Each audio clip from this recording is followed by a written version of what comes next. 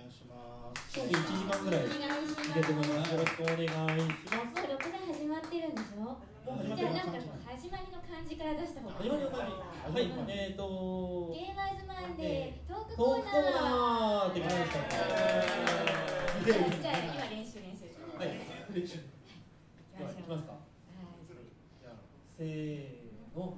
ゲーマーズマンデートークコーナは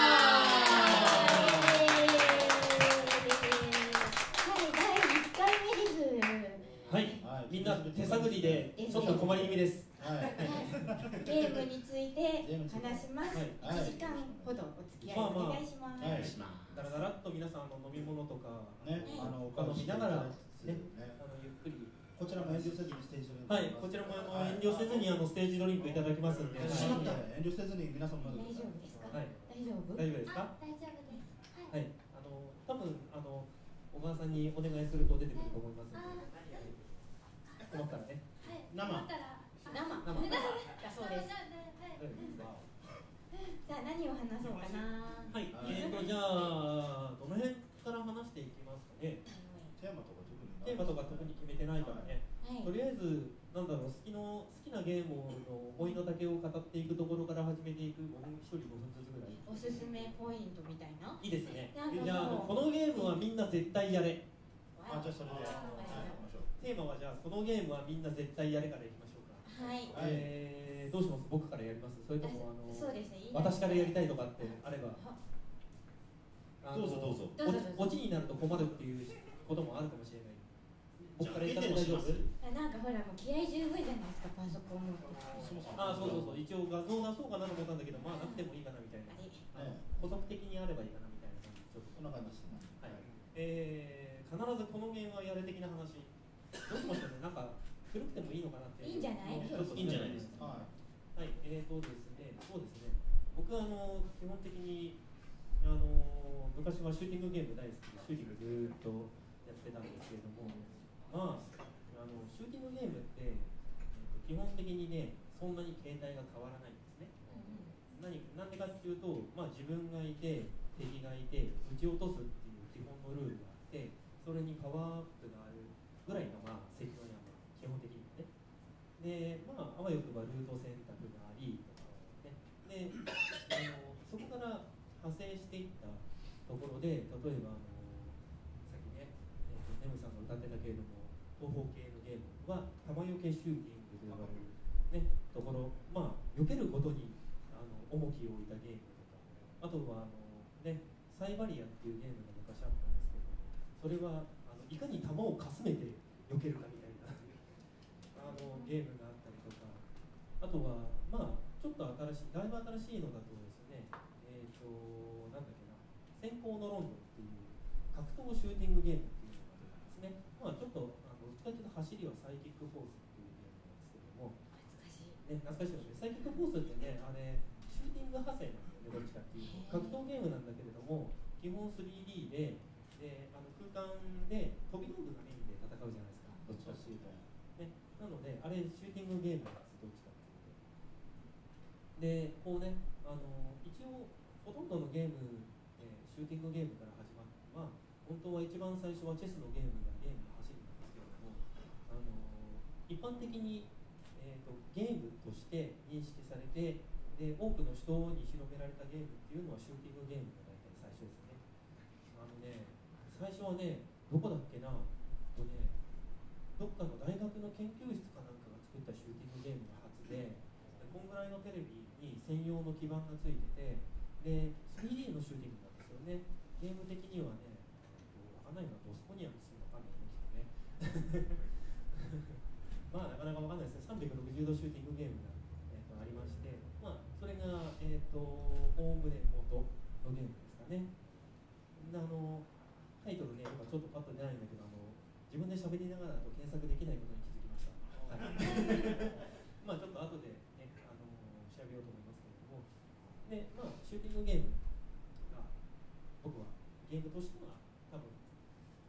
最初に触ったゲームかな。ね、で、多分ね、初めて触ったのが、アーケードのスターフォースっていうシューティングゲームですね。えーと、と出してるのはですね、今でいうとテクモですかね。テクモっていうメーカーが作ってるゲーム。あのファミコンだとね、ハドソンが出してて、でセガマーク2だと、マーク3だっけ？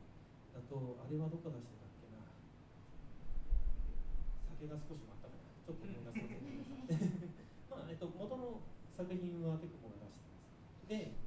とそこからあの続編でスーパースターフォースっていうシナリオのあるスーパースターフォースはねぜひやっていただきたい。あのセーブがないんですけれどもシューティングゲームなのでシナリオがあるんですね。でえっとね時空を旅しながらでダンジョンを攻略しながらあのどんどんどんどん過去に遡っていってで世界がどうして今こんな荒廃した世界になっているのかっていうのを突き止めるみたいな作品ですね。あのちょっとあれですけれどもズームをしてニコ動とかのあのプレイ動画とか見てもいいと思いますなねいいシナリオですね。当時ファミコンのゲームと思ってあの見たらね本当によくできてます。であのスター・フォースとは全然違う進路をたどったのが、えー、とハドソン版のスター・フォースからの派生ですね。スター・ソルジャーとかスーパースター・ソルジャーとか。あとはまあちょっと,、えー、とキャラバンシューティングっていうくくりで一緒であの厳密には派生作品じゃないですけどガンヘッドとかそういったゲームがあるんですけれども、まあ、あれはあの本当に、えー、とスポーツゲームですねある意味ね。あのキャラバンシューキャラバンってわかんないか。昔ねゲームの大会があったんですよ。ゲームの大会があってみんなしてでっかい会場に集まってでゲームの点数を競ってであの多分知ってる高橋名人ってね、そうそう16連射で有名な高橋名人です。今あのねスキンヘッドにされてねバイクかっ飛ばしてるんですけどはいあのハーレー乗ってるらしいですよ。まあまあそれは置いといて。えーっとねえーっとなかなか気さくな人でまあそれはいいえっとですね、まあ、高橋名人で有名な、えー、とキャラバンシューティング。昔あのそういういわゆる大会になるようなスポーツになるようなゲームの大会がありましてその頃に、えー、とちょうど、えー、と本当に僕小学生の頃からキャラバン通ってそこそこなあの成績を収めてたりとかしたんですけど。でもね名前乗るほどじゃないですよやっぱりねすごい人たちはみんなすごいですでも高橋名人に認知されてたりしたんですか一応あの一緒にあのご飯食べたりとかカおーラオケ行ったりとかしたこと完全認知だお友達あのご本人が目の前でバグったハニー歌ってくれたりとかわあ嬉しいねあのまあまあそれを置いといてまあそんなことがあったりとかしたんですけど、ね、あのシューティングゲームって本当にあのゲームのまあね根っこに近いところにあってまあなんでそんなことになってるかっていうとプログラムの話になっちゃうのでちょっと割愛しますけれども長くなりそうそう、あ、うん、そろそはい、というわけで、えっと、まあ、僕的にこのちょっと触ってほしいゲームとして、ファミコンのスーパースターフォースですね。シューティングゲームなのに、しっかりとしたシナリオがあって、しかもマルチエンディングなんですよ。ファミコンの時フ代にァミコンの時代にマルチエンディング。これちょっとびっくりですよね。うんで、あと、まあ、純粋にシューティングとして楽しめるものとして、あの派生のスターソルジャーシリーズとか、ちょっとまあ、よければ、あのプレイ動画とかでもいいんで、見てみてください。あのね、スターソルジャーとかのシリーズはね、えっと、PSP とかでね、あのキャラバンシューティングコレクションみたいなのも出てますので、あれ多分ね、プレステ3とか4とかでダウンロードでできるかな？多分アーカイブがあると思うんで、よければ手出してみてください。という感じでしょうかね。はい。ちょっと、あの、だいぶ時間取ったような気がしますが、僕はひとまず僕のターンこれで終わります。スーパースターフォースはいそのことですやってみてくださいはい次の方はい隣行くだけさんはい。はい、えっと、実際やってみてほしいソフトっつうとですね、あの、ここ、まあ普通だったら、あの、クロノトリガーとクロスを押すんですけど、いいと思います。アーカイブもあるしね。ね、アーカイブもありますよ、押してみたいんですけど、うん。さらに遡って、ね、あの、クロスについては、あの、賛否両論分かれてるんですよ、実際、あの、ストーリーがめちゃくちゃ複雑すぎて、あの、え、何これってなったりとか、バトルシステムで振り落としかかったりとか、仲間が異常に多かったりとか、だいたい50人、50人、40人ぐらい ?8、そんないたっけ？いるかぐらいいるんですけど、あの基本3周しないと全員仲間にならないっていう、そんなゲームなんです。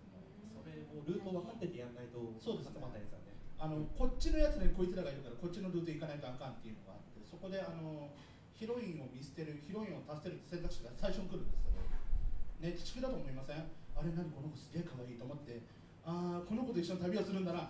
キッドを見捨てる助けるドレスチュっていう。そこでまたあの仲間になるキャラが変わってくるんですけどねなんで必ず1回は見捨てなきゃいけないっていうねすげえ苦しい選択肢を踏まされるんですけど。もはい。まあねクロノトリガーとクロスについてはねあのやってください。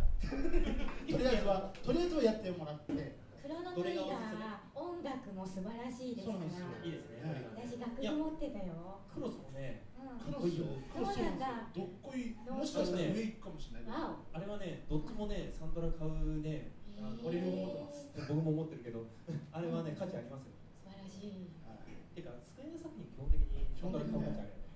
上松さんと下田さんとあと三田さんですね。あと伊藤健忘れちゃい。はい。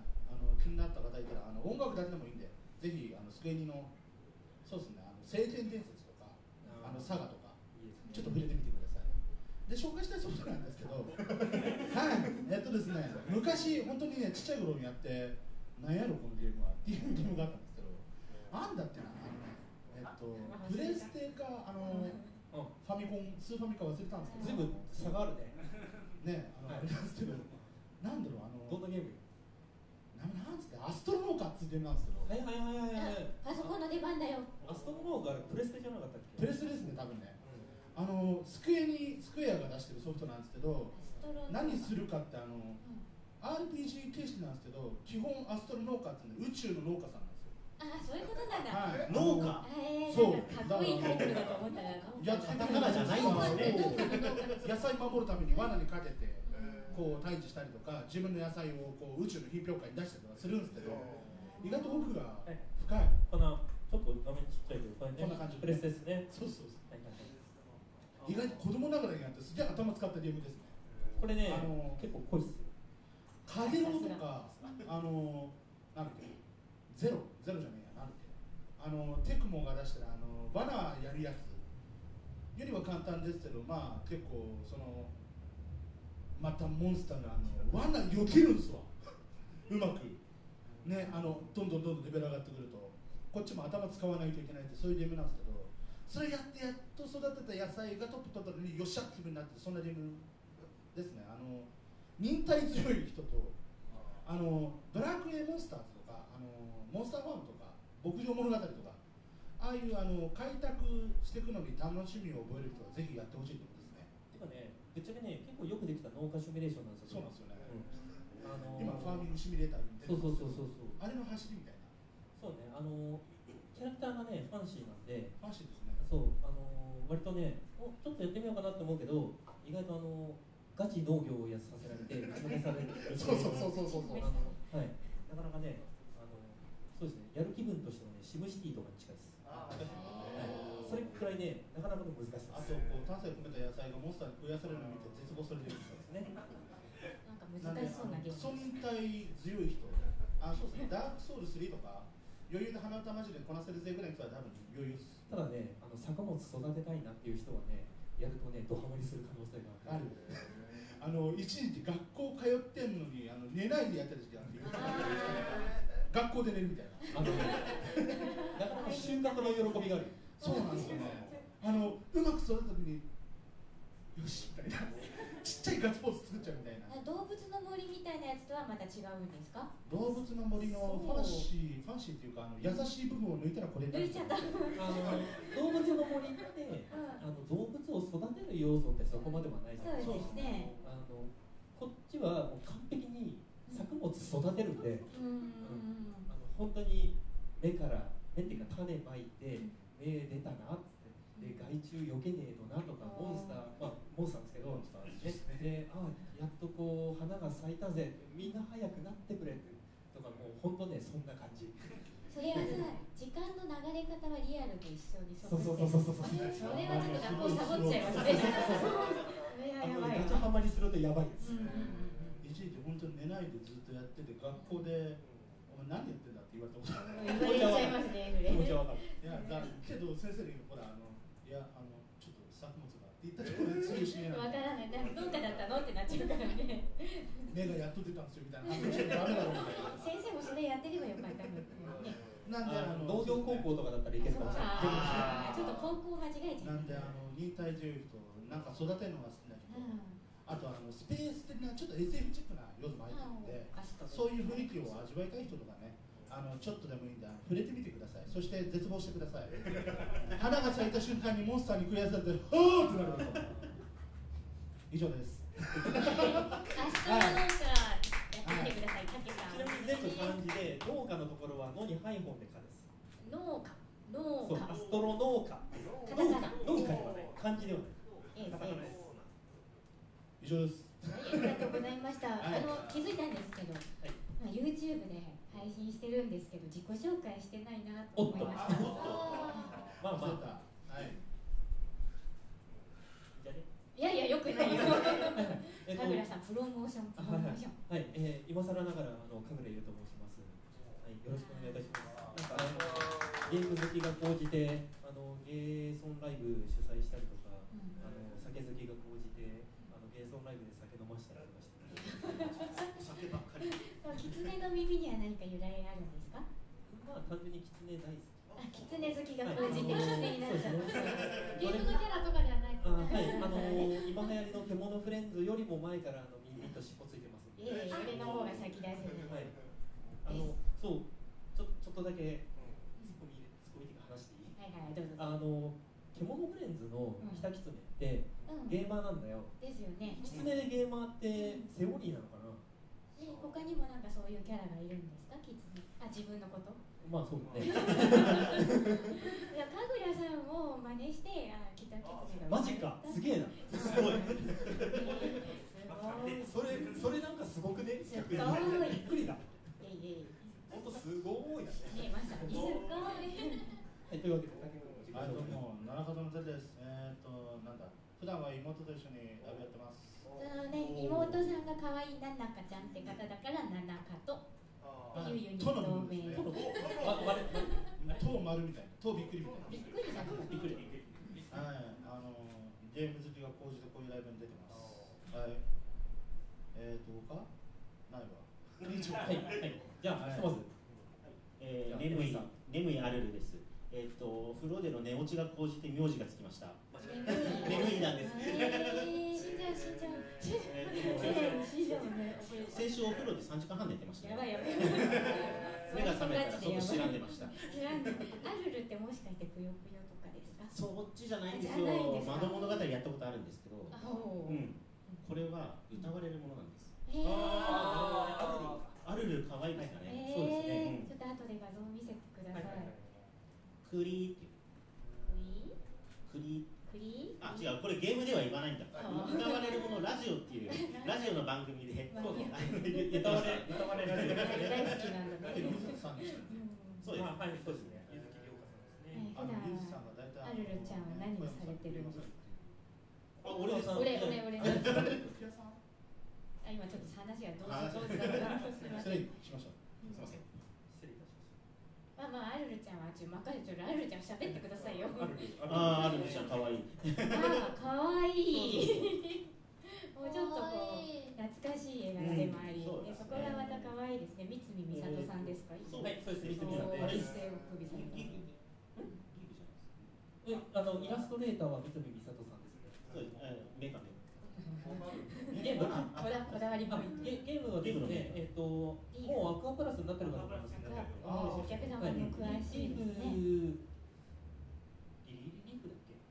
だだね、二歳編初頭だよね。ちょっと調べてみます。はい。普段ですか？ーはい。あのー家の仕事が忙しい。まあそういうリアルなことそう、あ、そっちじゃないの。はい。すみません。夢のある夢のある話。そうですね。初めに言ったんですけど、防音室とりあえず自分の部屋に防音室を入れて、いろいろ開発したり、そこの中で暑さと戦ったりしてます。中にパソコンを入れてしまったので。夏場はうん36、7度になります。えーそ外の最高気温よりどこよりも暑い男がここに。はい。なのに暑がりです。大変だ。ね、あの手作りで防音室すごい。ですね。おなんか出てきたみたい。一応えっ、と発売元はリーフですね。あでリーフだコンシューマーがアクアプラスですね。あそうか。あドリキャスでやったんですよ。あじゃあアクアプラスですね。そうか人の事情ですね じゃあ私言っていいかなはいあれもうもういいんですか？もう少し思いの丈を語らない思いの丈を語る。あのこのゲームやっとけ的な。あそうか。今自己紹介のタイムだと思ったから。あれ？そうそう自己紹介の流れであそうかそうか。先あじゃあ先先に自己紹介。ごめんなさいお酒飲みすぎだから。本日をえっと木下ゆりと言います。よろしくお願いします。アイドルをやって15年経ちました。よろしくお願いしますまあそんな感じで後でいっぱい喋りますえどうぞはい、えっと、こんばんは。改めまして、星空かなたです。はい、よろしくお願いします。えっと、普段はライブバーで働いたり、はい、音ゲーに課金したりして生きてます。場所場所を伺ってもよろしいです？場所今はあの歌舞伎町で働いてるんですけど、あ歌舞伎町なんですけど、あの萌え的なお店で、あれはいお店の名前とか宣伝してなんかあそのお店もしかしてしまあそのお店の名前は気になる。名前は、えっと、アイドルチェっていうお店になるんですけど、はい、あのお友達に紹介いただいて、あのステ軽くあのちっちゃいステージもあって、であのすごいいっぱい喋れてみたいなとても楽しいところなので、まあ、気になった方はぜひ遊びに行きましょう、はい。アイドルチェはいその給料が課金に消えている生活をしてます、正しい使い方だと思う、ね、来年の目標は貯金です頑張ります課金税って貯金するって言っていつまでもし頑張ってください今年は課金は我慢しないですけど、はい来年からできれば頑張ります貯金しながら課金もできるからおお月3000円とかね11連分をコツコツ。コツコツ。確かに。検討します。大概のところを一回にしとけばいい。そうっすね。回さなくちゃダメ。先輩の意見回しちゃダメっていうんじゃなくてあのほら限定的なな福袋とかね。イベント限定とかね。出たらその時はガンガン回せばいいと思います。えー、頑張ります。はい。それでははい。じゃあ話を戻しましょうか。ではこれはやっとけというゲームのアルルさんおあそう願いしはい。ます、あ ルールさんだあいやあのもともとねアルルって名前であニコニコ動画とかでオートマット作ってたり、えねあの東宝を知ってからはルーミアの動画をマットをずーっとー、へ1ヶ月に1回アップしてたことがありました。あー。2年間あなかなかいいスパンですね。え検索ワードは？ー検索ワードなんだっけな。そうなのかロイドそうなのかロイドえっとねルーミアのえっと口癖。口癖って言ってもあれ一度しか言わないんですよね。口癖じゃないの。でもあるやつよくある。あの会話の中でうん。あのルーミアが喋ってる単語っていうのはいくつもなくてへー。とえーの東北コーマ教っていうゲームなんですけれどもその中ですごく特徴的なあはいはい印象にセリフなんで印象象の残りそうなのか、まあ、そこで従事してるえー、こういうそうそうポああいうポーーズズああいうポーズあのタッチは1枚なんですけどああいうポーズずっとしてるんですよ。ではね YouTube の人見れないかそうらやってやって。ちょっと Google でもう一声なんかそうなのか。いい検索あワードがあるといいですね。そうなのかロイド。でひらがなだとちょっと出てこないかなあそうなのかロイド。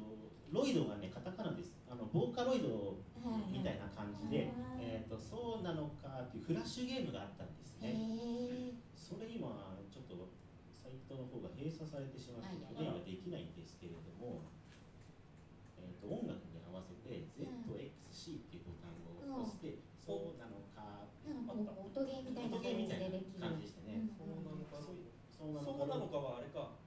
あそうなのかはひらがなです。そうそその後が超いやなのかすいません私が変な話を振ったばっかりいやいでやとんでもない。ゲームの話から遠ざかっちゃったけあどいやでもゲームの話なんで一応なるほど。ええ。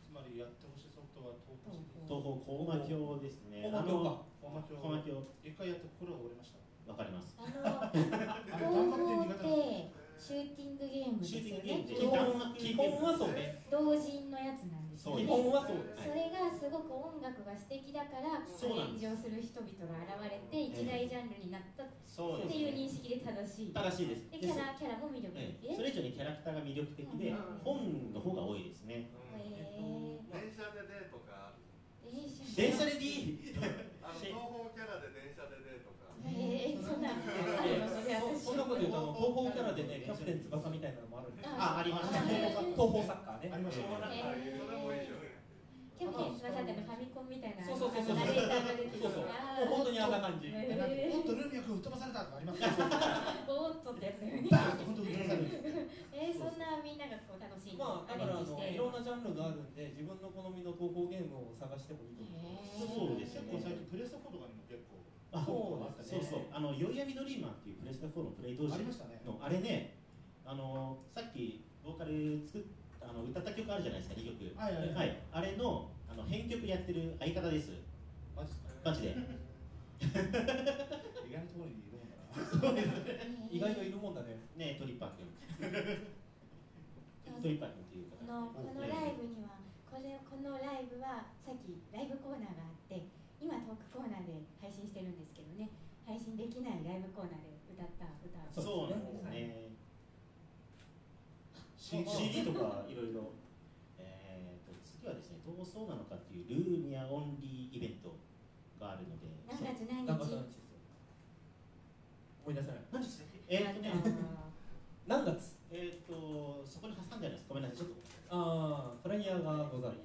フライヤーなんかちょっとカメラに向かって出しておくといいんじゃない？代表に無断で勝手にフライヤーに混ぜてしまったんですけどあのたまたま部屋で発掘したので。覚え覚え放送なのか6、えー、7月16日月曜日祝日7月16日月曜日、ね。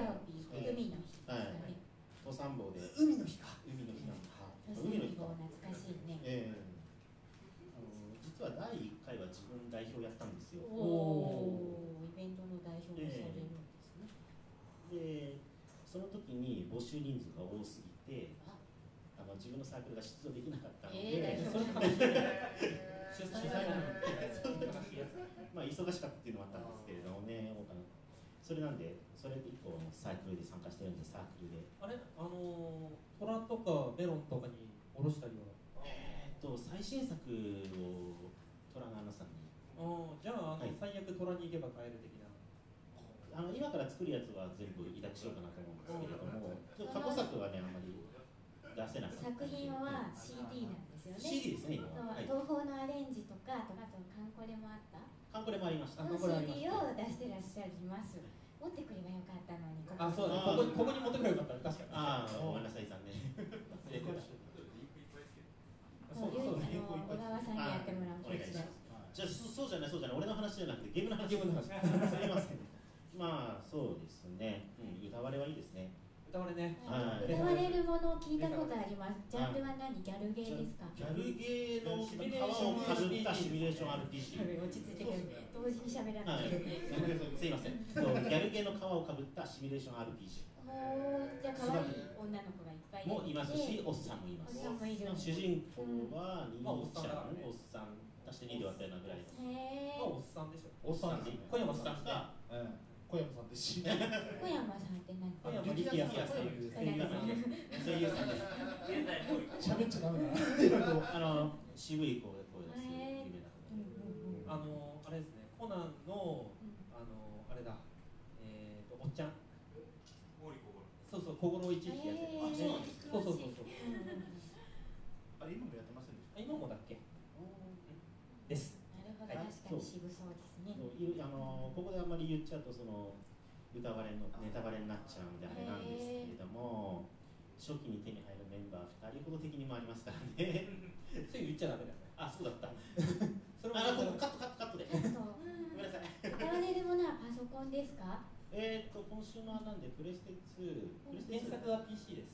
PC でそこから18金ですか？はいそうです。でしたね。あでプレステ2とか、うん。あのいろいろ今プレステ3も出てるしシナリオ増相版とかまあいろいろ追加、えっとね、続編とかも出てるので、えっと、順番にやるんだったら多分プレステ2からやった方がいいかな、結構長いコンテンツなんですね。そうですね長いもんそうですねね続編も出てますあのしねラジオがねとにかくはっちゃけてるんでね聞くといいと思います。さっきもなんかちらっと言ってましたね、うん。歌われラジオ。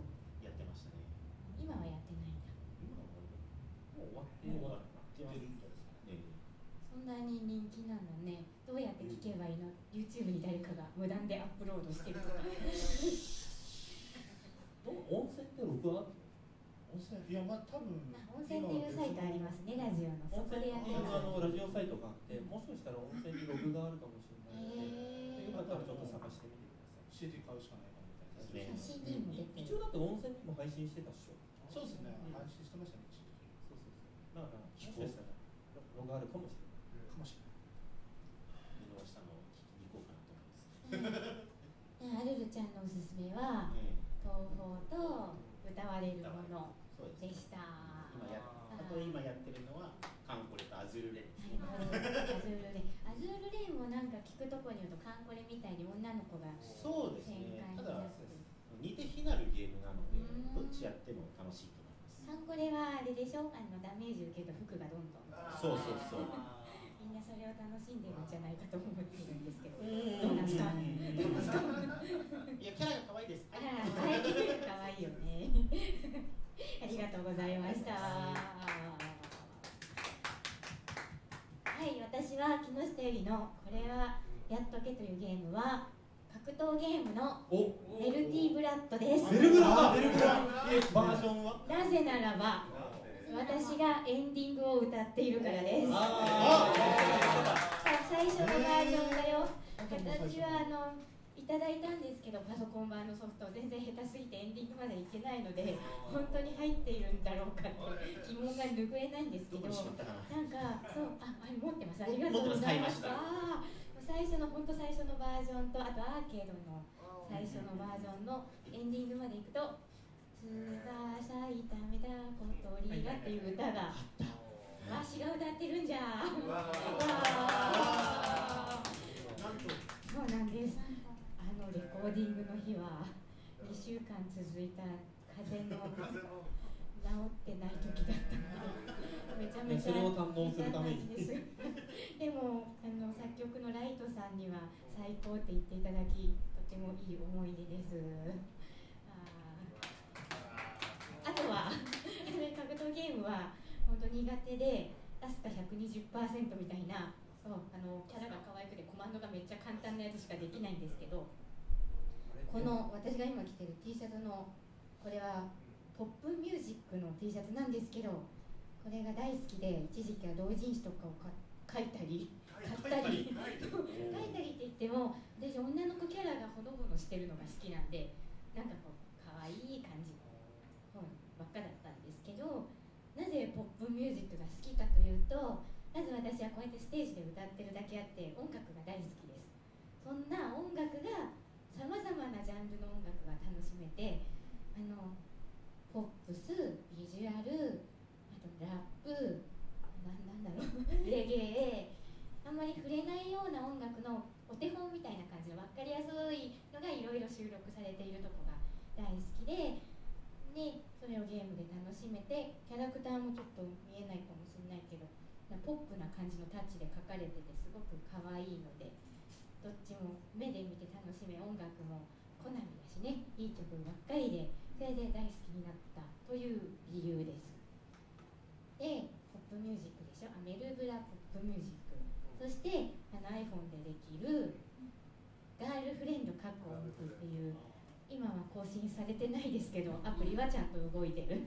この音ゲーは好きな点はよくさ女の子のアイドルゲームってそのキャラクターが踊るじゃないですか。そうですね。その踊るキャラクターが一人なところが逆に好きなんです。私一人でソロでアイドルやってるのでなんか結構振り付けの参考になったりとかあの大人数見るのも楽しいんですけど一人の方がなんかちょっと感情移入できたのでそこの点が好きだったのとあと曲が良い。あのちょっと現代風。私は80年代のアイドルソングが主に好きなんですけどガールフレンドの曲はの現代の萌えソングみたいな声優さんが歌う感じのすごくいい歌のお手本市みたいな感じで収録されてるのです。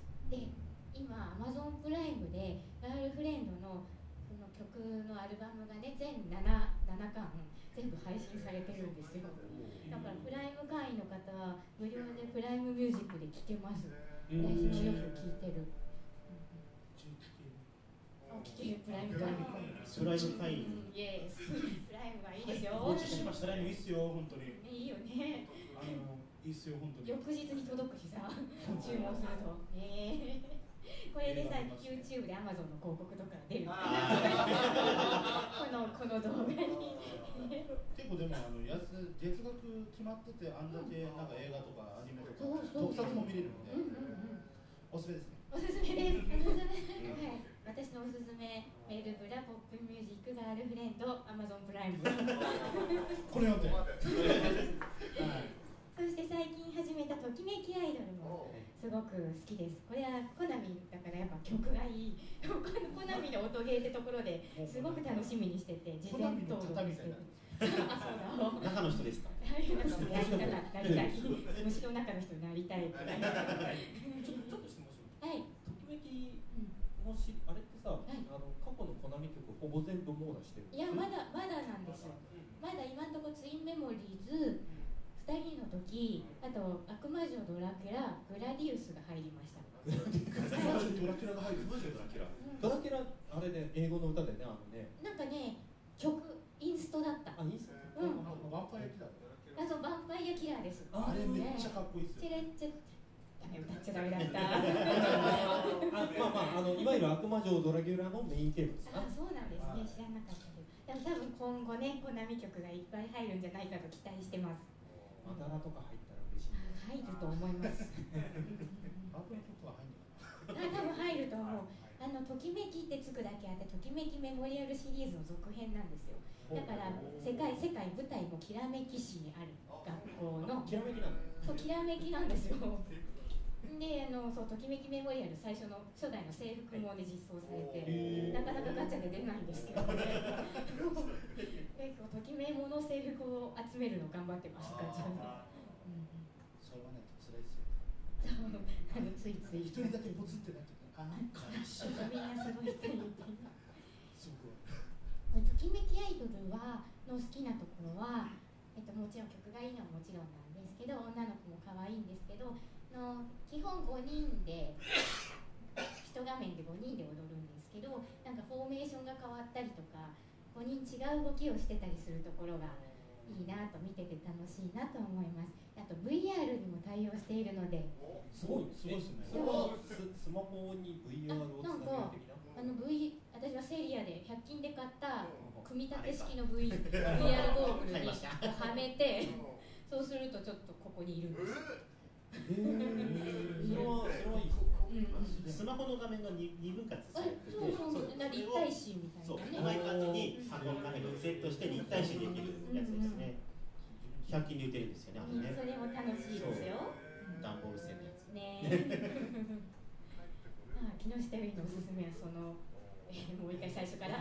メルティブラッドあドラクエ言うの忘れてもいいや メルブラポップンガールフレンドとあアマゾンプライム。ときめきアイドルそしてドラゴンクエスト。ドラゴンクエストはあのなんかもう言うまでもないかな。なんか日本国民の共通認識なので。あの言うまでもないんですが今やってるドラクエ10はオンラインゲームなので、えーお友達ができる人が人と人とで。オンラインやっても基本ソロでしかやらない。から友達増えない私もさ最始める前はそうだと思っなんたんですかなんか話しかけにくくないですか最初って。うん、あのに自分のキャラクターが可愛いから何やってもいいかなっていう認識が生まれ私のこれさこのそれを出すためにスマホを持ってきたんですけど私のドラクエのキャラクターそう。ドラクエ10にいるプクリポという種族がとても可愛いところがおすす確かめです。5つぐらい種族あるんですよそうなんですオーガエルフウェディっていう魚的なやつドワーフそしてプクリポっていうね動物みたいな感じなんですけど私のれキャラが。種類とか種族によって結構そうそう。属性が違う。あ属性はねあそこはですねあのユーザーの要望により種族ごとの能力差はなくなりました。なくなったんですよなくなったんですよ。最初はあったんですよ。でもユーザーがさあの初期選んだのこれが弱いから嫌だみたいなそうそういう要望によりみんな平等になりましてそう私のキャラクターはこちら。私プクっていう種族。のこの私のもももりちゃんっていう子の可愛いあ可愛いなのでこのこの可愛さを借りてゲゲー。ム内でいろんな人に話しかけることができるんです違う自分になれるダメダメじゃんそれオンラインゲー。ムででも中おじさん。そうちょっとこの人なんかなんかちょっと男の人かもしれないので気をつけてください皆さんであの漫画家さんの友達とかできたもんね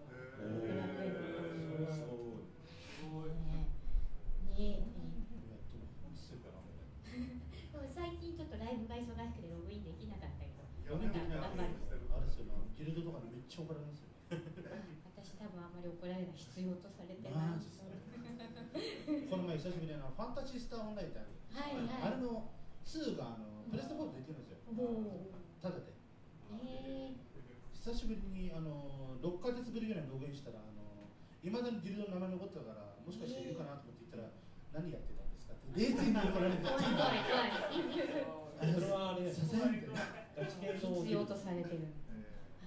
私このドラクエ10が大好きすぎて勝手に作詞作曲して歌を作ってはニコニコ動画に上げてたりしたのでそして最新作は消されなんと。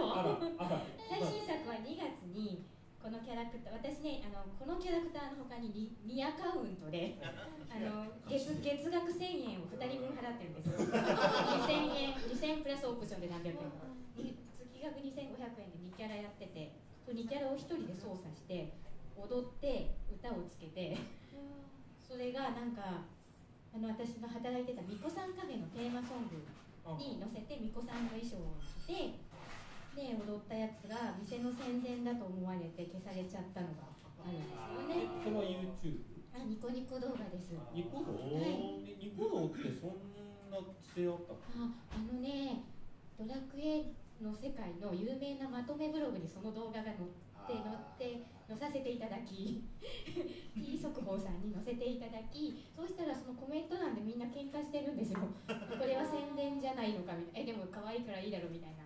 あみんな喧嘩してるでも通報しようぜとかなって。通報されたみたいなそれそれあれだよ言われのないやつそうそうそう。まあまあ私だもう可愛かったからちょっと嫉妬されちゃったあこれダメだ YouTube に載っちゃう見て見られたらどうしよう。またまたまたねそのまとめブログに載っちゃうね。あの消された動画の中の人がこんなこと言ってたってじゃあちょっとあのやばい。傷口が広がる前に次行きますはい。はい。どうぞ星の花たちお待たせいたしましたはい、私はカートです。はい、私は基本、はい、パチパチ。イエーイ。いやトーク、こういうトークはちょっと初めてうまく喋れるかわかんないですけど。私はとにかく可愛い女の子が好きで、まあ、とりあえずでも「ラブライブ!」とか「スクフェス」とか「ガルパ」とか「デレステ」とかは結構 CM もやってるしまあ駅でもね、まあ、みんな見かけて「ラブライブうん知ってる?」みたいな「バンドリー知ってる?」「デレステ知ってる?」って感じなんでまあそこはぜひやっていただきたいなぐらいでちょっと割愛させていただいて、置いといて。置いといて。もうみんな知ってるのでほっといてもみんなやるからね。そう。でもまあできることならスクフェスはやってほしいですね。私「ラブライブ!」がすごい好きで。であのスクフェスもやってほしいんですけどアケフェスっていうのがアーケードであの今ゲームセンターであるんですけどはい、それがなんかスクフェスは、まあ、今のところあのもうなんだろう絵絵がテンって出てくるだけの音ゲーなんですけど、まあ、その絵がね可愛いからやってるんですけど曲もミューズは全部入ってますしでもアケフェスの方はあのなんと踊るんですよ。踊るんです。あスクフェスって女の子踊らないの？踊らないです。そうなんだ。あでもあの今後あの踊るようになるそうなんですよね。へえはい。そうなんですよ。まあ早く踊ってほしいなと思うんですけどでもあのアケフェスはもう踊ってくれるんで、もう踊ってくれてたなんか例えばこのソロ曲とかがソロ曲とかデュエット曲とかが、まあ、今までこう2人でアニメのキャラクターで踊ってるとこは見れなかったんですけどそのライブでねあの声優さんがやってる曲がやっとあのキャラクターで動いてるので見れるってことで、まあ、結構アケフェスはすごい楽しいです。でなんかあのガチャを引いて衣装ハイパーレア HR が出るとあのその衣装が着れるんですけどメインのこうをその衣装に設定したらみんな着てくれるんですよ。うん。そうなんですよ優しいんですよ。例えばりんちゃんっていう私の推しキャラのいこの衣装が見たい。けどりんちゃんどうしても着てくれないけどまきちゃんは着てくれた。みたいな場合はあのまきちゃんのその着てほしい衣装をセンターにするとなんと全員着てくれるのでまあその辺は結構優しいかなと思いますね。ではアーケードでもガチャがあるんですか？アーケードでもガチャがあります。ありますよね。けどあのアーケードのがカードで出てるカードで出てきます。うんただあのネシカに保存するだけなんでああの出てくるカードはまああの鑑賞用特にそのカードを人にあげたからどうとかななくあ可愛いうん。でデータ上に残るそうですそうです。なのでネシカは絶対なくさないように。やばいですね。はい。でそのガチャがあの9連なんですけどその9連なんですよ。なんですけどその100円入れてこうパッとしたらこう9枚かその全部こうバババババって出てきてこれが入ってますよくるってやってこの1枚ずつなんかトランプみたいにめくれるんですよ。なので結構なんか欲しいえなんかハイパーレアがあったらそう引き続ければいいしなかったらまた違うガチャすればいいかなみたいな感じで結構。いくらかかるのかな？まず9枚画面に出てその100円で9枚1枚1枚引くのが？1枚引くのが100円ですなるほど。9 9枚引こうと思ったら900円かかると。そうです。でもでもでもそこで欲しいハイパーレアがあったとすればはいはいはい。900円出せば絶対手に入るんですよなるほど絶対手に入るんですよ。一覧とでいうことはそう。ままず画面を見てそうでこれはダメだなと思ったら100円でやめとけばいいと。そうです。100円でやめてもう一回入れてでそのハイパーレアが出るまで、まあ、チャレンジして来たって思ったら両替機に行って両替機 両替機まず両替機に行ってこうどんどん引いていくみたいな。なるほど、うん、9連で900円はちょっと安いそう900円は安いですよ捧げはね11年で、まあ、約3000円ぐらいなん。でもう結構それで出るかどうかもわからないですからね。まあそうボックスガチャとかないと天井もすごい高い。その辺は良心的かなと思います。専門用語。がもうもう僕確定ガチャしかやらない。んで賢いですまあね、1枚ね星5確定とかありますからねでもでもね、まあ、11連で5000円とかであのさ、ラブライブってミューズとアあ赤アクアはいがいるんですけど、アケフェスは両方入アってるケフェスは両方入ってますアクアちゃんもしました学校とかもいるこの学校はさっきあのできたあの学校があるんですけどそのへ学校ではまだないですね。あのスクフェス内で活動があったりとか、まあ、声優さんはもうついたんですけど。あじゃああの一期のあの他のライバル校とかは出てくるか一期のライバル校はスクフェスはあるんですけどアケフェスはどうだったっけ？ないかも。ないかもしれない。これから実装的なこ感じれからでも実装すると思いますしてほしいしてください。まあまあ、あのね、多分あの盛り上がっていけばキャラクターのね、あのそう 3D のモーションを取ってこう作っていく方向だと思うんで。えしてたらどうしようすごい恥ずかしいの。推しの推しの曲しかやらない。でなのですごいおすすめですね。まああとはあのもう音ゲーじゃないんですけど音ゲーじゃない中で彼方的にまあやってほしいなっていうのが「リトルウィッチパルフェ」っていうゲームがあるんですけどなんか黒猫魔法店っていうあのお店を経営してるお母さんが死んじゃって娘が借金を背負ってそれを頑張って返していくっていうストーリーなんですけどでもその間にその物を売ったりとかお店のレイアウト考えたりとかそういうところを楽しみつつゆりルートにも行けるし王子様ルートにも行けるしみたいなすごい可愛いゲームがあってとてもなんかストーリーがいいんですよと説明ベタなんで何とも言えないんですけど。もう本当にそれで。ほんわかする感じ。あそうです。ほんわかする感じ優で。すしいゲームみたいな、それは何でできるの？パソコンはパソコンでもともとできるゲームだったんですけど、もうとってもバージョンが古いので最近のパソコンでちょっと起動してくれないとできないので。あ、そうですね。XP そうです。あできないのでうん。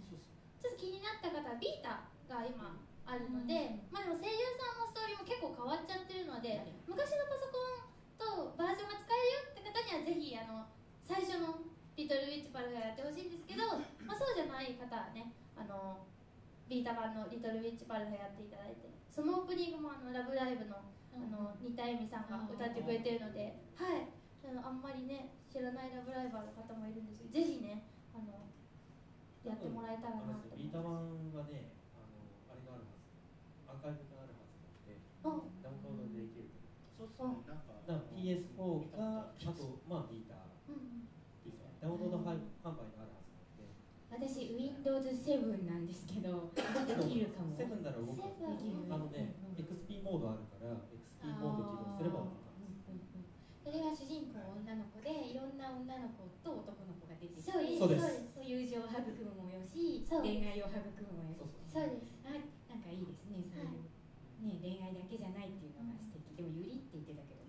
えなんかあのまゆりが私的にはすごい押されてるなっていうゲームなんですよね。なんか一応恋愛ゲームとして使えたらしいんですけど、まあゆりルートが結構あってなんか小学生の頃にプレイしたんですけど。すごい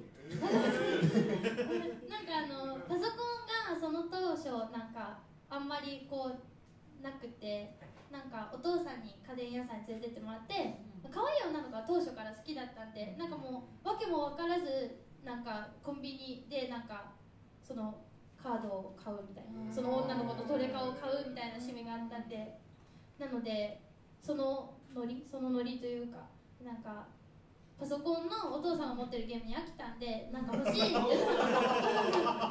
でやり込んだんですよ。やり込みすぎて飽きて。で何か欲しいってお父さんに言ってでこれが可愛いって言ってお父さんもまさかゆりゲーとは思わないじゃないですか。てかあのざっくり言うと、ん。えっと、悠久幻想曲とか、あのああいうのに近いゲーム。ああ私じゃあ好きだわ。ああぜひぜでそれの主人公を女の子版だと思っていただければ。だから基本的には性なら半恋愛ぐらい。ガチ恋愛まではね一応いけるけどそこまで濃いところまでいかない。であの同性だとまあ、えー、と友情に近いけどど悠久よりはゆりっぽいところまで感じ、ひそう細かいそういうのはちょっとネタバレになっちゃうんで。そうですねあんまり言い過ぎるとねとっても言いたいんですけどぜひプレイしてみてくれたらいいなと思います。面白いです面白いです。いいいいゲームです。とてもいいです。はいあとリトルウィッチパルパルそうですリトルウィッチパラ結構シリーズも出てるからね。そうですそうです。アトリシリーズみたいなもんですか？そう、うんと、アトリエほどは出てないけど。あまあでもそういう雰囲気。でね、歌も結構いいんだよね、あれね。そうですそうです。歌も結構良くて。俺興味ある方は意外と好きかもあの作るのとか集めるのとか好きな人他はハマるかなそうだね、うん。意外とね、経営部門があ無理だ。意ダメやりやりそうわ割とね、結構あのがっちりしてるからねあそうです割とあのもう達成できなかったああみたいなエンドになることもある。意外とあのちゃんとゲームとして作られてるゲームだからあれは面白いですね。面白い。ですそういうなんか道具作るのとか経営するのはダメですねやりますね。学校サボっちゃう。ですかね。まあアクション系とかだったらあのラチエットクランクっていうのを知ってる方もいるかなとは思いますけど。が一番好きです、まあ、これもシリーズもいくつかあるんでぜひやってみてください、まあ、私のおすすめはそんな感じで、えっと、ゲーセンで「ラブライブの!」あのアケフェスをやってくださいというのと「リトルウィッチパルフェ」をどのシリーズでもいいのでできれば一番最初でやってくださいというやつと「ラチエットクランクが面白いです」ってやつと言わせたんですけど、えっと、ディーバがすごい面白いです。あの初音ミクのディーバがすごい良くてあのリバは全部外れないですか外れないです。なんかビータでもできるし PSP でもできるしあのゲーセンでもねできるのでぜひやってみてください。でした。はい。ありがとうございます。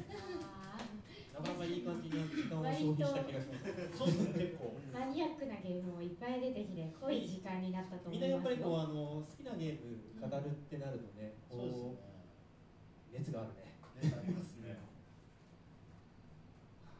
はあじゃね。えじゃあ、えー、とまとめていきますか。そうですね。はい。えー、どうやってまとめようかね。なんかあのさはい。ひとまず今ちょっと思ったことはやっぱり結構ジャンルが多岐にわたってるなっていうのは思いますね。あとはねゲーマーを自負してるみんな僕は自負してますね。下手の横好きです。なるほど。まあでも結局あのゲーム好きな人ってあの一番好きなゲームとどまりながら新しいゲームをいろいろやるんですよね、っていうところがやっぱりあってあのそういうのっていいなと思悪いけど正しいオタクだなって思います。ね、あのほらだって流行りばっかり追ってるのもちょっとどうかなって思うしさみたいな、あそこディスっちゃダメか。まあまあまああのね自分の中であのほら一番のソフトは絶対には外しちゃいけないっていうのはありつつでもやっぱ他のほら新しいソフトの方も手出せばいいんじゃないかなとまあね、あのね、あの積むことになってもね、そそうそう。の後であのその時間ができたら供養すればいいんじゃないかなみたいな。ちょっとみんなの積みゲーとか聞いてみたいな。積みゲー今僕あれですねあの住んでるのでドラクエ11と,、えー、とペルソナ4が最後の最後で止まってるのと,、えー、とあと今ドラクエやってるでしょあのモンスターズの方ですねであのクロノクロスとトリガーが今4周目ずつぐらいでさらにそれは積んでない積んでない。あと積んでんだから寝かしてるのがあのなんだっけスターオーシャン4あ、それはだいぶ手出。してない。だいぶ積んでますよ。それそれはあのお前の罪を数えろになりかねない。そのうちやりたいいつぐらい何年ぐらい前ですか？4だ。あれプレステ2、わ2、2えっ、と3、なんかリメイクしたのが出たんですよ。なんかうん4、4、3、4どっちだ3かな。だと思うんですけどそのリメイクしたやつをあそうかリメイクしたんだ。じゃあやろうっつって買ってその後にすぐペルソナ5買っちゃってそっちあやべペルソナも一番面白いこれどうでもいいやちょっととりあえず積んどこうってなって三 2, 2年ぐらい経つからなんか、デビーさんとこあります。そうですねとりあえず東宝シリーズは買うんですけれどもあちょっとやって積みますね。なるほど。うんあの別の意味でも積んでますけど。ゲームゲーム的にね、そもそもゲームが苦手なんで何度かす高いからね。ぎて先に進め気ない持ちはわかる。っていうか、あのゲーム処理落ちないと生きていけないような気がする。そうですよね。どこの隙間縫えばいいんだよこれみたいな。そうそうそう。で途中で絶対積むっていう。あの PC がハイスペックだと処理落ちを起こさないでゲームがきつすぎるっていうあのオチがあるゲームですね。あのなので低スペックなゲームでやると、まあなのであの CPU のこうあの上限を下げてゲームやると意外とやりやすかったりしあのちょっとスローモード入ればこれ予定られるんだけど今のそうそうそう速度じゃこれ絶対無理みたいな。木下のお嬢さんどうですか？えあの言われて思い出したドラクエ11積んでる。クリアはしたんだけどクリア後がすごいいいって聞くんだけどドラクエ10で忙しくて。まあまあでもクリアしてればひとまず積みとは言わないそうなんだ。あの触りもしないのがやっぱあの下手すると封も開いてないからね。そうなんそれはさすがにないけどあとドラクエとあドラクエの音ゲーがありますね。シアトリズムそうシアトリズム。あれも1か月ぐらい頑張ってあとはドラクエ10で忙しくて、やってれば大丈夫。やってるじゃあないんじゃない？かな私は積みゲーは今はないですね。お素晴らしい。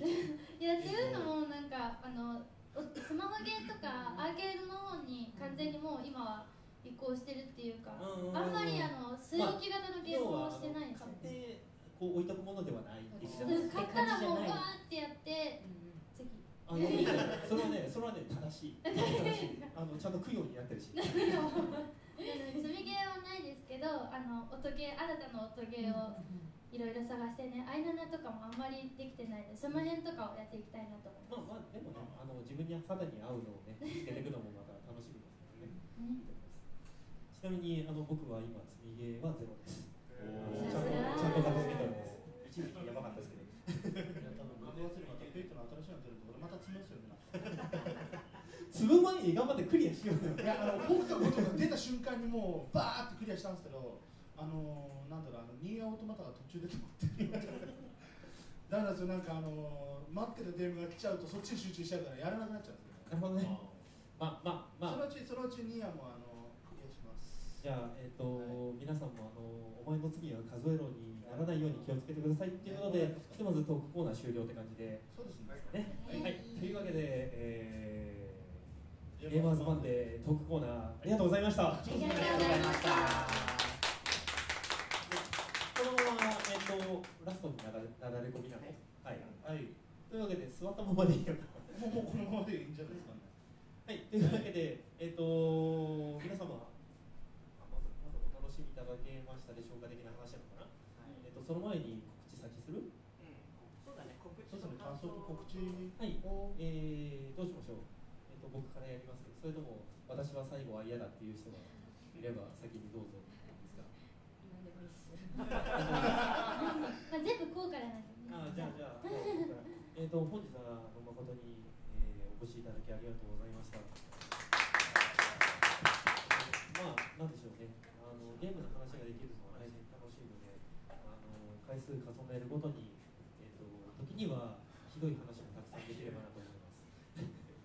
あのゲーム業界裏話とかね、あのとあるゲームの裏話とかね、あのご要望あらば。なんで知ってるんですか？中の人ですか？えっ、と、反中の人ぐらいですね。おあーとは中の人友達だったりとかね。へーまあ、あの古いゲームに関してはそういうところもありますんで、うんあのなんだろうね、あのちょっと、えー、分かりづらいんですけれども、阿佐ヶ谷ドラムにあの伊佐さんっていう人がいて、うんあの人があのたまに特撮話とかあのアニメ業界裏話とかするんですけど、あれぐらいにはゲームの話ができます。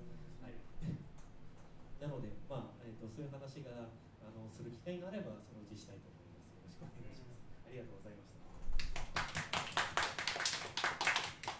はい、えーお疲れ様でした。えっと楽しんでいたでしょうか。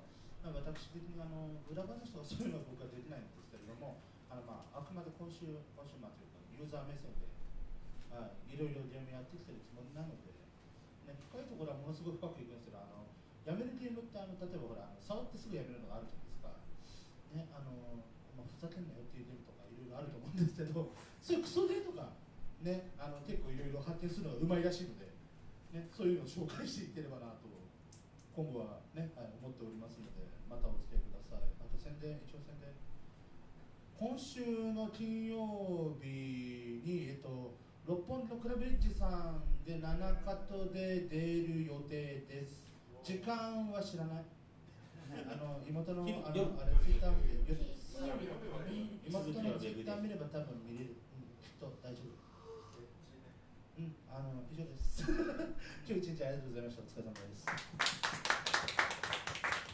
えーとじゃあ忘れないうちに告知させていただきたいんですけれども、来今月今月は6月だから来月ですね、来月のごめんなさい日付忘れちゃいました。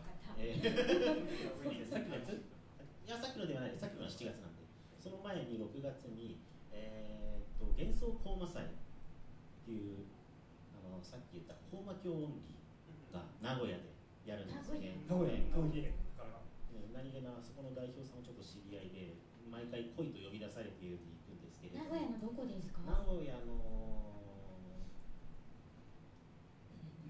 あのウェブ開くとこの辺に四角あって検索ってあるって 幻想コーマ祭ってやってポチッと押してあげてくれたり。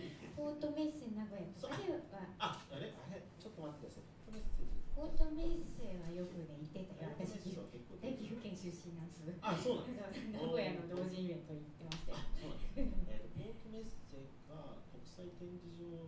あ同じ同じです。ねあれ国際会議場？ああれのどっちかだったんですよ。それに出るんですけれどもその後にねあの終わったら高野祭やりましてそれにも出あの歌うことになってます。30分ぐらいね。おなるねしかもあそこ酒が飲めるので。ねあの暇がある方はぜひ来ていただければと思いますでその次はさっき言ったあのこう、えールーミアオンリーですね。東宝そうなのか6これ。さっきの。これですね。これに出ますのでこれできれば新作出したいなと思っています。そのくらいですね告知は。えー、とちょっとゲームの話で一つ皆さんにね聞きたかったことがあったんですけれども昔フロッピーディスクの中に入っていた1枚だけ余計なディスク謎のあの格闘ゲーム 2D のどんなえっと前後にしか動けなくて攻撃がよ3パターンか4パターンぐらいしかなくて。わかんないよね。何か知ってたら教えてください。えっとね頭の裏にこびりついて離れないんですあれえっとそれえっとアンドロイドっぽい感じ？サイバー SF っぽいそうです。ああわかった。お。そう、ジェイソンみたいな。えっとねえっっと後で詳しく。うんえっとね移植されてるそれ。はい。後で教えてく。了解です。はい。すごいやっと探し求めている以上ですありがとうございますすっきりもしてしまいましたありがとうございましたはい、今日はありがとうございました。木下ゆりです。お知らせはさっきも言った金曜日の町田でまちこ先生のイベント。これはみんなでご飯もでも食べながら一緒にお話がメインとなると思いますが今後もまちこ先生に少しずつ関わらせていただいてあわよくば新しくアニメ化した時に何か歌えたら嬉しいよねあわよくばね。あとはライブは27日の日曜日のお昼に神田ミーファさんでライブがあります。そちらはちゃんと1人で20分ぐらい歌える感じになりますのでいっぱい歌うのでよろしくお願いします。あとは木下よりで検索してツイッターとかで告知をしてる時もあればしてない時もありますが最近ツイッターではよく流れるのはときめきアイドルのフルコンできた自慢。リザルト画面のスクショを撮ってフルコンできたというのをよく流してます、えー目標はいつかかなたちゃんと2人でときめきアイドルに入っているバージョンの2人の時を。あれはね2人であの5人で踊ってる中2人が前に出てこうや踊ってるんですよね。それを2人でできたらいいなと見たいです。言いたいです。思ってます。なのでまず皆さんカラオケを探しといてくださいよ まだ出てないはず音源。ツインメモリーズは昔ゲームショーで配られた CD の中にカラオケが入っていてそれをねあのいただいてきてもらったので今日歌うことができたわけです。なのでゲームの歌は琉球幻想曲のねさっきちらっと話題に上がったのも大好きでいい歌がいっぱいあったりするので少しずつ歌っていけたらと思います。ちょっとマニアックなのではありますが。どうぞこれからもよろしくお願いしますはいじゃあラストになりました。藤原かなたです今日はありがとうございますはいえっと告知ですね。えっと告知は私は今決まってるライブはもう1個しかなくて、まあ、ちょっと後の7月2日にえっと秋葉原グッドマンさんでライブバーストボリューム39というのがあります。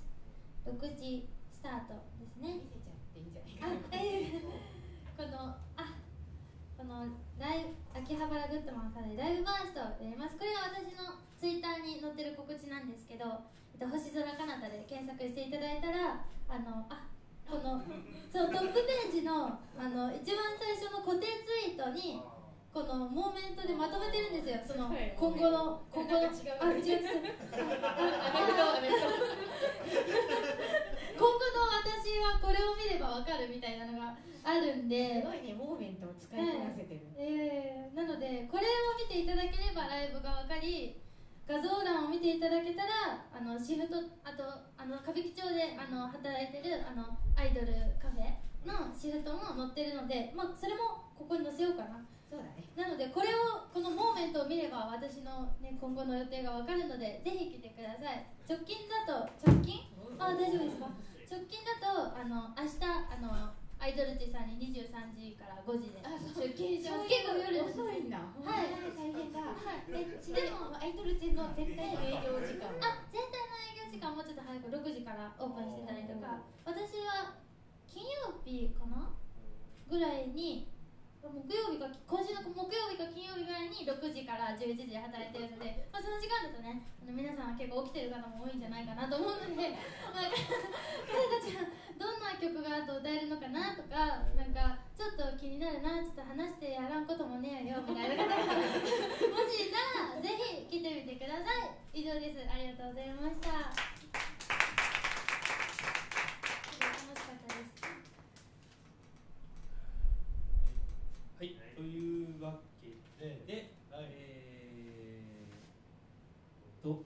レマンズマンデー第1回、はい、無事に無事？無事そうですね無事に。割と無事に終了いたします、はい、意外と無事に。はい、えっ、ー、とこの後物販コーナーあります。はい、はい、えー、でございますので、えー、皆様、えー、お酒飲みながら買い物してチェック取って。ゲームの話もしてなかったらしましょう、はい、いただければと思います。はい、はい、では、えー、ありがとうございました。はい、ありがとうございました。